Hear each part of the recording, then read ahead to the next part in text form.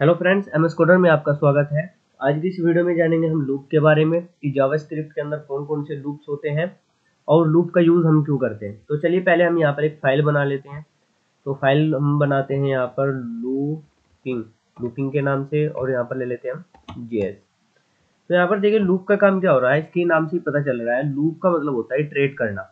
मतलब हमारे पास कोई code of bunch of code है और हम ये चाह रहे हैं कि उसको हम बार बार रिपीट करें। यानी कि अगर आपको किसी ने बोला है कि अपना नाम दो बार प्रिंट करो तो आप क्या करोगे? कंसोल डॉट लॉक करोगे और यहाँ पर आप अपना नाम एबीसी जो भी है आपका नाम वो यहाँ पर आप लिख लोगे और यहाँ पर आओगे नोड और आप, आपका जो भी आ, फ़ाइल का नाम है वो यहाँ पर आप आप ऐसे लोगे जेएस और एंटर की प्रेस कर दोगे। उसने फिर बोला कि आप अपना नाम आ, इस तरह से तीन बार प्रिंट करो। तो आप क्या करोगे? तीन बार ऐसे ही कंसोल लिखोगे और एंटर की प्रेस कर दोगे। लेकिन उसकी डिमांड बढ़ती जा रही है। वो उसने आपको बोला कि हंड्रेड टाइम आप अपने नाम को प्रिंट करो।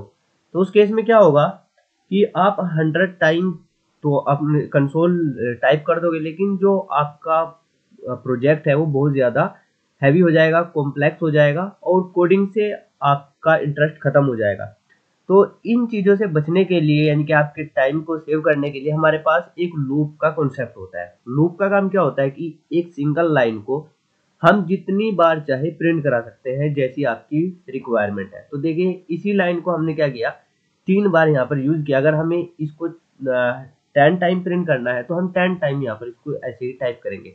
लेकिन अगर मैं ऐसे करूँ, और हमारे पास सिर्फ़ ये लाइन और इस लाइन को मैं टेन बार प्रिंट करा दूँ तो उसके लिए हमें लूप की ज़रूरत होती है। तो लूप यहाँ पर कई टाइप के लूप होते हैं। जावास्क्रिप्ट के अंदर तो आज की इस वीडियो में हम जानेंगे फोर लूप के बारे में।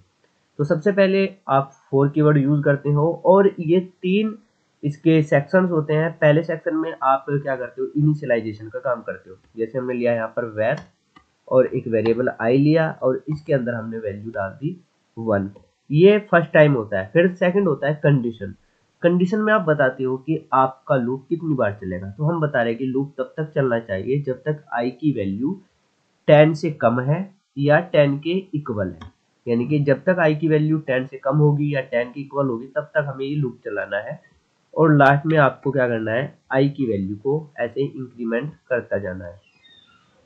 तो यहाँ पर जो आई प्लस प्लस है, इसका मतलब होता है आई बराबर आई प्लस वन हम इस तरह से भी लिख सकते हैं इस आई प्लस प्लस को, या फिर हम ऐसे ही डायरेक्ट भी हम यहाँ पर यूज़ कर लेते हैं।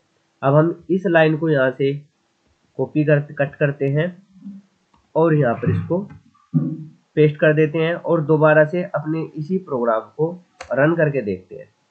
तो देखिए, जैसे हमने रन किया तो आप देख सकते हो कि टेन टाइम हमने इसको यहाँ पर प्रिंट करा दिया। यानी कि फोर लूप का जो कॉन्सेप्ट हमें जावास्क्रिप्ट ने दिया हुआ है, उसको हम आसानी से यूज़ कर रहे हैं। अगर हमें यहाँ पर आई की वैल्यू को प्रिंट कराना है तो यहाँ पर हम क्या करेंगे? आई और ऐसे स्पेस देंगे और आई ले लेंगे। तो यहाँ पर देखिए क्या होगा कि आई की वैल्यू जितनी हमने यहाँ पर ली हुई है, जैसे हम यहाँ पर टेन को हटाकर फाइव कर देते हैं तो यहाँ पर देखिए फाइव टाइम हम आई की वैल्यू को यहाँ पर प्रिंट करा सकते हैं। तो आप देख सकते हो कि आई की वैल्यू वन से लेकर फाइव फाइव टाइम यहाँ पर प्रिंट हो रही है। तो इस तरह से हम लूप को यूज़ करते हैं। अगर आपको टेबल प्रिंट करना है किसी भी नंबर का तो आप यहाँ पर टेबल भी प्रिंट कर सकते हो। तो हाँ टेबल प्रिंट करने के लिए हम क्या करेंगे? यही कंडीशन लेंगे। तो जैसे हमने टू का टेबल प्रिंट करना है तो टू मल्टीप्लाई आई तो यहाँ पर देखिए, सबसे पहले आई की वैल्यू वन होगी तो one into two two print होगा। फिर आई की वैल्यू यहाँ पर आकर टू हो जाएगी। तो यहाँ पर टू इंटू टू फोर हो जाएगा। तो इस तरह से कंडीशन चलती रहेगी जब तक आई की वैल्यू टेन के बराबर ना हो जाए।